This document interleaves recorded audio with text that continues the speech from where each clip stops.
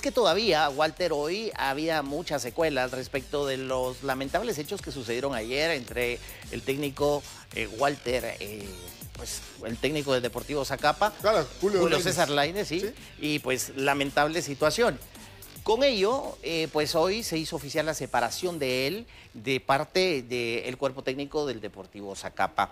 Nuestros compañeros de Radio Cadena Sonora tuvieron a bien hablar con eh, respecto de estos inconvenientes. Vamos a dejarlos a ustedes con el audio para que ustedes escuchen qué fue lo que él dijo. Mira, yo sé por dónde van. Yo creo que el problema de hoy, te voy a decir una vez directo mejor.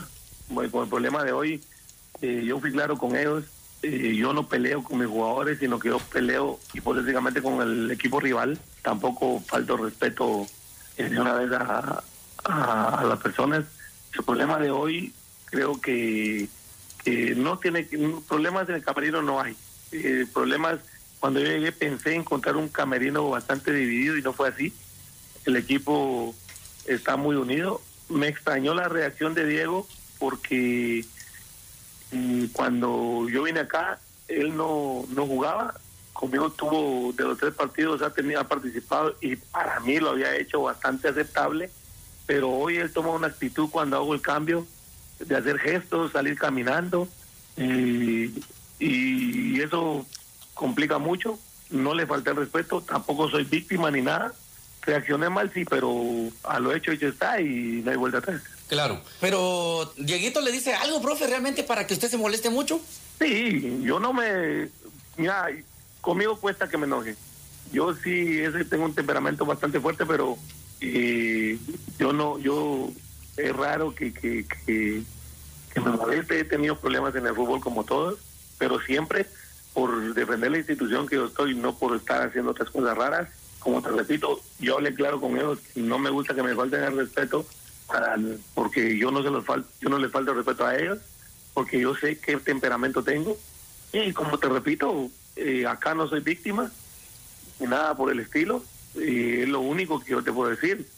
Eh, Acá el punto es que si yo dejo que me falten el respeto a como él estaba gritando, también no fue la manera de reaccionar, pero sí por la, intensidad que se estaba viviendo adentro, por lo que se estaba jugando, por las opciones que estaban fallando, se me acumuló estar aguantando a la afición que hoy nos apoyó bastante.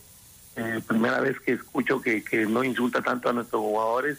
Llega un momento en que, que se uno y como te vuelvo a repetir, de repente que sí reaccioné mal, pero eso queda acá y esperar a ver qué, decide la liga. Yo soy el responsable de eso, pero también hay que investigar a fondo todo lo que pasó. Luego de, lo sucedido con, con, Diego, ¿se eh, conversó con él, profe, ya al finalizar el partido y que ya todo estaba eh, más en calma? No, no me gusta platicar con los jugadores después del para evitar todo eso. Eh, hoy no, no platiqué con ellos, solo estuve ahí con los, con los líderes en entre comillas, te digo, de repente arrepentido sí, pero no soy de las personas que pide disculpas ni nada por el estilo. Yo ya me disculpé con las personas que tenía que hacer lo que es mi familia. Y después eh, no tengo ya más nada que decir de este tema. y ahí él si habla lo que pasó y yo escucharé lo que él, porque al igual que él va a está escuchando o va a escuchar lo que yo digo. Y veremos, porque a la larga, como te repito, yo a mi jugador no le falto respeto porque me gusta que me respete. Bueno, ahí las declaraciones eh, del profesor Laines, eh, ahora exentrenador del Deportivo Zacapa. Walter, ¿cuál es tu opinión? Bueno, eh, muy clara la entrevista que hacían nuestros compañeros de Radio Cadena Sonora, ahí el, trabajo del Giovanni Rodas con la entrevista y demás. Y, acá creo que es importante porque el técnico aclara varios puntos. Primero, y, es muy buena la pregunta y puntual, le preguntaban al técnico sobre qué fue lo que le dijo el futbolista y por qué su reacción tan colérica. Y él menciona que le falta el respeto y que no podía permitir que una falta de respeto como esa se diera. También es claro, y, ayer yo lo platicaba y mantengo esa posición, que nada justifica la reacción que tuvo el profesor Laines con su futbolista. Más allá de que le haya faltado el respeto, creo que hay formas y lamentablemente la forma que él utilizó con violencia no era la forma adecuada para resolver esta situación. Él ya habla de por qué se sale de sus casillas, por qué le gana su temperamento, algo que le dijo el, el futbolista.